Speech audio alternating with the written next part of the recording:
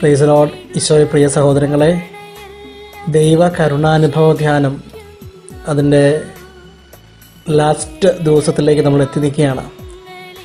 പ്രത്യേകിച്ച് ശുദ്ധീകരണാത്മാക്കളുടെ മാസം ശുദ്ധീകരണാത്മാക്കൾക്ക് വേണ്ടി മധ്യസ്ഥം വഹിച്ചുകൊണ്ട് ഒൻപത് ദിവസത്തെ ദൈവകരുണയുടെ നൊവേന അതോടൊപ്പം തന്നെ ദൈവജനം ഒന്നുചേർന്ന് വചന സന്ദേശം ശ്രവിച്ച് ദൈവകരുണയിൽ ശരണപ്പെട്ട് പ്രാർത്ഥിക്കുന്നു.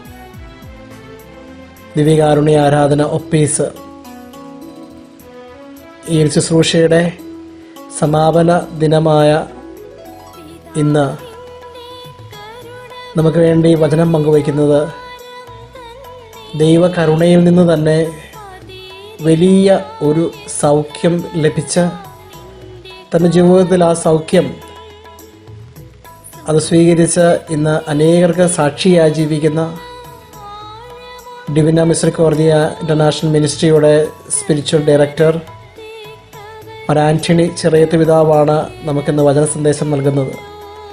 അതോടൊപ്പം സ്ലൈഹിക ആശീർവാദവും ദിവ്യകാരുണ്യ ആരാധനയും പതിവ് പോലെ ഒപ്പീസും ഉണ്ടായിരിക്കുന്നതാണ്.